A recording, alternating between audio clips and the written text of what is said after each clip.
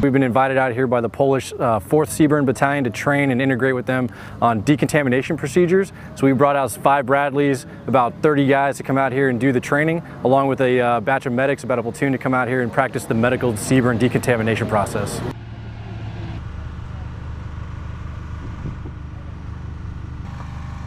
Well, training CBRN is important because one of those capabilities that we don't always have access to at home is one of those critical training opportunities where in the CBRN environment for either nuclear or chemical, um, training the decontamination process with our full-up uh, protective suits, the JSLIST, using our pro masks, getting the opportunity to integrate with a foreign country and see how they do it is a chance for us to learn and teach, and it also integrates that we all become a little bit better and a little bit more proficient.